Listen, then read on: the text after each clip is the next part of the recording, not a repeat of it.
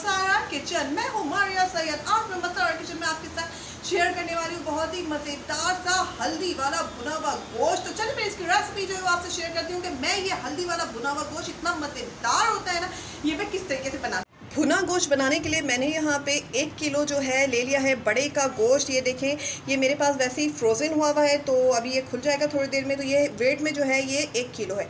इसमें यहाँ पे मैं इतना पानी ऐड करूँगी ताकि ये जो है, मैं इसमें दो खाने का चम्मच भर के मैं ऐड करने लगी हूँ गार्लिक जिंजर पेस्ट इसमें चला गया गार्लिक जिंजर पेस्ट इसके साथ ही तीन चाय का चम्मच पिसी हुई हल्दी मतलब कि हल सॉरी धनिया पाउडर ये धनिया पाउडर है जो कि रेगुलर खानों में डलता है, ये वो है।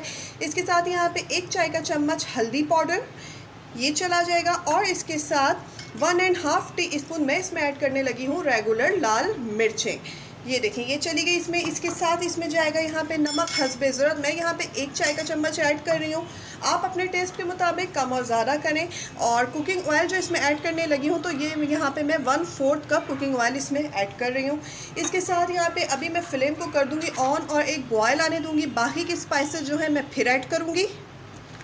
पे परफेक्ट सा बॉयल आ चुका है। अभी यहाँ पे दो बड़ी प्याज, जैसे मैंने यहाँ पे क्वार्टर कट में चकोर चकोर सा जो है कट कर लिया है, उसको इसमें कर दूँगी मैं ऐड चने की चली जाती है। इसमें सारी प्याज यहाँ पे जो मैंने कट करके रखी है और अब इस स्टेज पे मैं इसको कवर करके रहने दूँगी। गोश्त टेंडर होने तक कुक होने दूँगी इसको।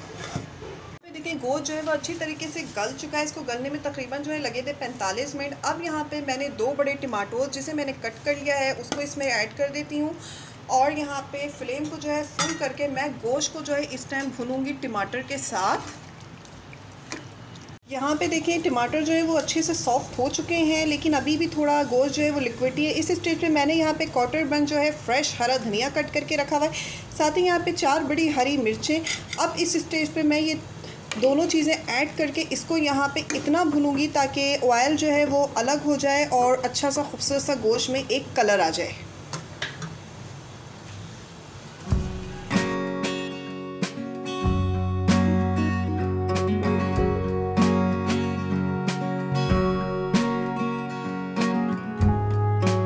मज़ेदार सा हल्दी वाला भुना हुआ गोश्त तैयार हो चुका है। अगर आपको हमारी रेसिपी पसंद आई है तो लाइक करें। अगर आपने अब तक हमारे चैनल मसारा किचन और मसारा व्लॉग्स को सब्सक्राइब नहीं किया तो प्लीज़ उसे सब्सक्राइब करें। इसके साथ ही इजाज़त दीजिए, दुआओं में याद रखिएगा।